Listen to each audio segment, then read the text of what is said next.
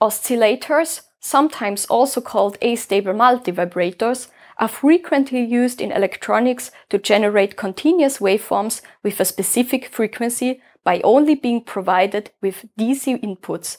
The generated frequency can further on be used to synchronize digital computation and storage elements such as latches or flip-flops. There are different types of oscillators available.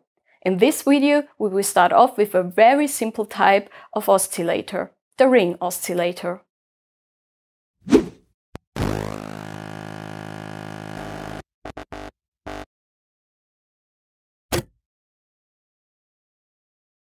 Ring oscillators are one of the simplest types of oscillators.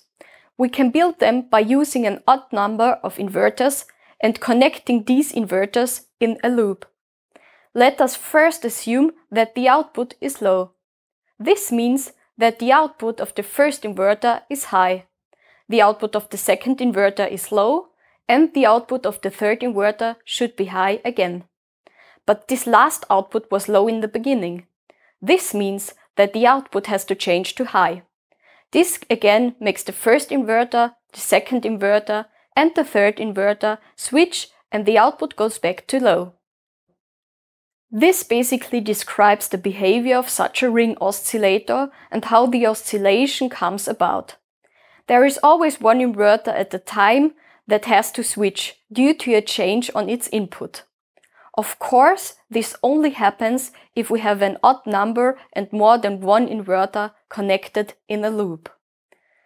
But how large is the frequency of such a structure? Let us have a look at the output node of this 3-inverter ring oscillator and assume that the output has just switched to low. This means that the inverter change propagates through the first inverter, the second inverter and the third inverter and the output switches to high and once again the change propagates through the first, second and third inverter and reaches the output which switches back to zero. This describes the period of our ring oscillator. We saw that within one period the inverters changed six times. Each inverter changes two times. Remembering that each inverter has a propagation delay time and assuming that the delay time of every inverter is the same, we can therefore calculate the period of our signal and therefore also our frequency. As the delay times of inverters are usually quite low, we can only receive rather fast switching times and therefore high frequencies. But which possibilities do we have to change the frequency?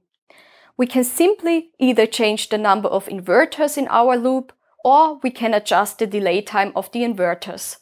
Changing the delay time can be done in different ways. In general, we can see the inverter chain as RC low-pass filters that originate from the transistor's on resistance and the input capacitance of the subsequent inverter. Firstly, we could make the width of the inverter structure larger, which decreases the on resistance and therefore decreases the delay time. Further on, we can increase the delay time by explicitly adding RC structures or only capacitances to every inverter output and therefore decreasing the frequency. As a third measure, we can also decrease the delay time by increasing the supply voltage. In this way, we could even see the ring oscillator as a voltage-controlled oscillator. Furthermore, we could also add additional PMOS and NMOS transistors to the supply voltage to act as current sources defining the inverter delay. The problem with ring oscillators is their not very well defined frequency as the frequency is depending on much more things than we talked about. Especially temperature changes and variations in the inverters lead to a change in frequency. In this video, we have given you an overview on how a ring oscillator can be built and how it works in principle.